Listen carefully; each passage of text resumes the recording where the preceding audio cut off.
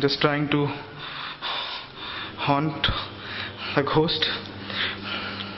I don't know if she's a helpful or mischievous ghost because in some books I have also heard that ghost might be helpful sometimes and the only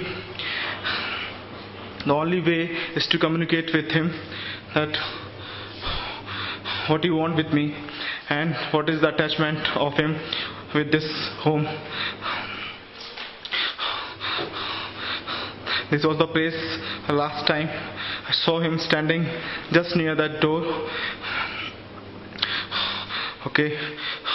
Oh, shit. My god.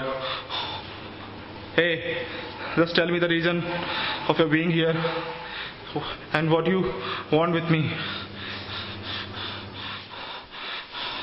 My god.